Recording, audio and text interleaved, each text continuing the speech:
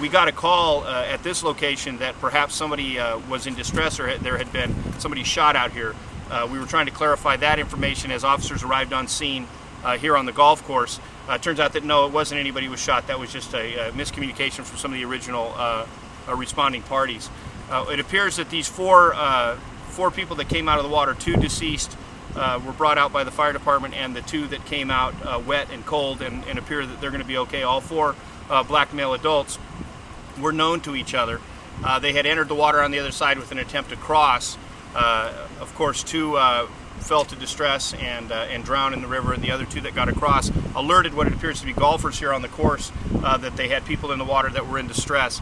Uh, that's how we were brought to this location as far as as the calls coming in and, and, and, so forth from the golfers, and then also from one of the one of the people that came out of out of the water.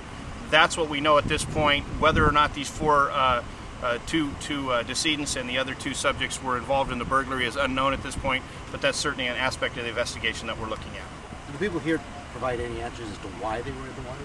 Uh, at this point, they're making some statements, but it's too early to, to comment on that. We want to let the investigation unfold uh, a little bit more before we speak specifically to their statements. Uh, they're obviously in a state of shock. Uh, and, and, we want to make sure they have a chance to, uh, to calm down and, and, and really uh, get a handle on, on what has, has transpired here and give a good solid statement before we comment on that. So the two that survived, are they in custody or not? They're not in custody at this point. They're cooperating with the investigation.